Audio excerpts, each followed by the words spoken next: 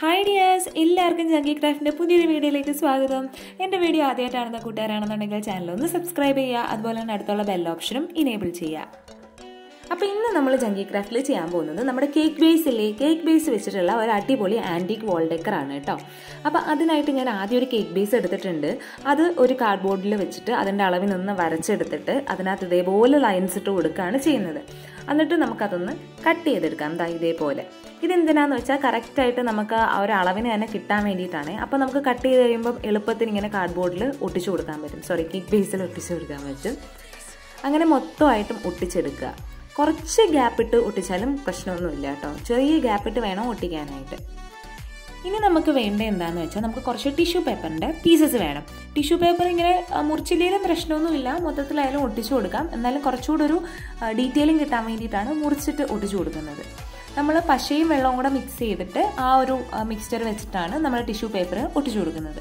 ഒട്ടിച്ചു കൊടുക്കുമ്പോൾ നമ്മുടെ കാർഡ്ബോർഡിന്റെ ഇടയ്ക്കുള്ള ആ ഒരു ലൈൻസ് ഇല്ല ഒരു ഗ്യാപ്പ് നന്നായിട്ട് ഡീറ്റെയിൽ ചെയ്യുന്ന രീതിയിൽ ഒട്ടിച്ചു കൊടുക്കുക കേട്ടോ.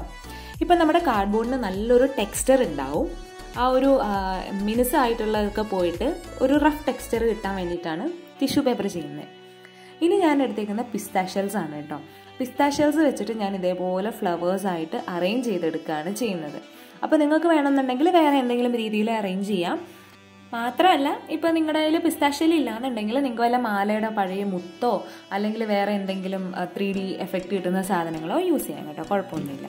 ഇനി നമുക്ക് ഈ പൂവിനൊക്കെ സ്റ്റമ്മ് വെച്ച് കൊടുക്കണം. അതിനായിട്ട് ഞാൻ ടിഷ്യൂ പേപ്പർ തന്നെയാണ് കേട്ടോ എടുത്തേക്കുന്നത് ടിഷ്യൂ പേപ്പർ എടുത്തിട്ട് നമ്മുടെ കൈയുടെ വെള്ളയിൽ കുറച്ച് പശ അപ്ലൈ ചെയ്ത് കൊടുക്കുക.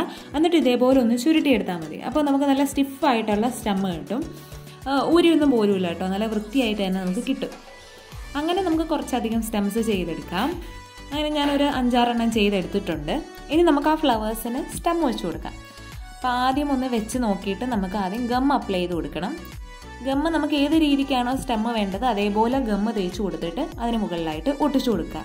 അങ്ങനെ എല്ലാ ഫ്ലവേഴ്സിനും നമ്മൾ സ്റ്റെമ്മ് വെച്ച് കൊടുക്കുന്നുണ്ട്.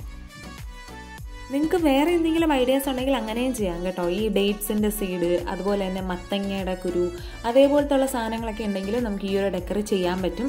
മാത്രമല്ല ഇതൊന്നും ഇല്ല എന്നുണ്ടെങ്കിൽ നിങ്ങളുടെ കയ്യിൽ വേസ്റ്റ് ആയിട്ടുള്ള സാധനങ്ങളൊക്കെ ഉണ്ടെന്നുണ്ടെങ്കിൽ അതായത് കോയിൻസ് പഴയ സിസേഴ്സ് സ്ക്രൂ നട്ട് ഇതൊക്കെ വെച്ചിട്ട് നമുക്ക് ചെയ്യാൻ പറ്റും കേട്ടോ. ഈ ഒരു ആന്റിക് വോൾ ഡെക്കറിന്റെ പ്രത്യേകത അതാണ്.